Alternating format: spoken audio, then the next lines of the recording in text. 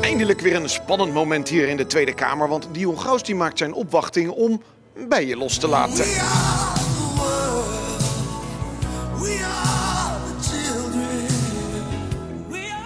En de spanning over de bijtjes loopt pas echt hoog op bij sommige fotografen.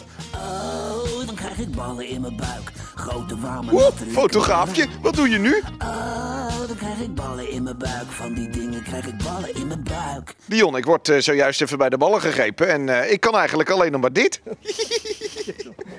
Hij kan het ook niet nalaten. hè? Goed, even serieus nu. Nou is het een jaartje stil geweest rondom jou als dierenvriend na die cavia-politie, hè?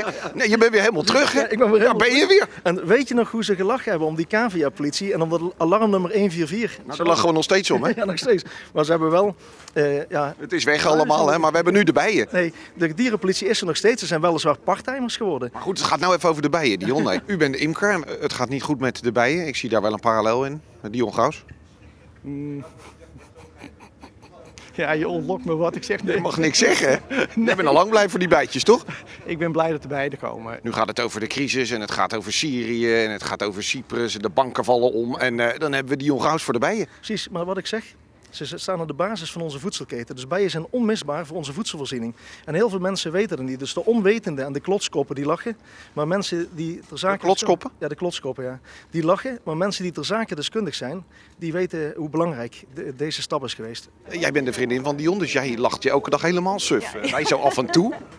Ja, jullie- ja, dat is waar. Ja. Ja. Gekke man, hè?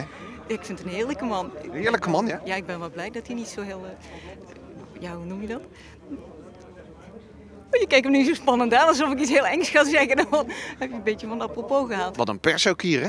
Ja, Er is echt niks vandaag verder. nee, nee, precies.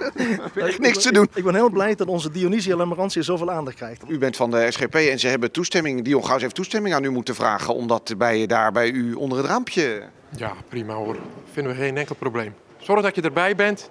Nee, ik laat geen steken vallen vandaag. Laat me zoomen.